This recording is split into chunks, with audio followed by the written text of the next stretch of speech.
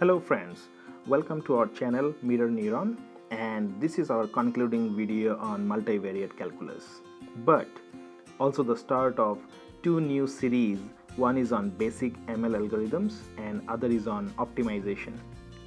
Now we have just scratched the surface while mentioning gradient descent in case of multivariable functions, introducing topics such as Hessian matrix etc.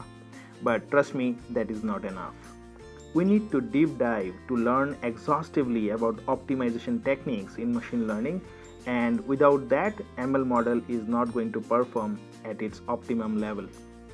And in parallel, we also need to understand how basic machine learning algorithm works. Often, when someone asks what math should we know for machine learning, we hear the following linear algebra, calculus, probability theory, etc. But the one candidate which is equally important and sometimes even more, but often less celebrated, is the optimization techniques. So, in basic ML algorithm, we will start with linear regression and then followed by logistic regression.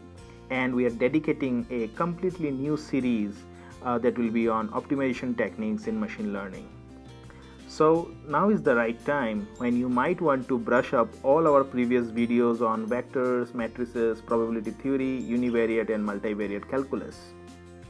I would also encourage you to read as much as possible based on the topics that we are covering. Believe me, if you become good at the math for machine learning, guess what? I bet you will earn at least double the salary uh, from your peers. So thanks again for watching and see you in the next series.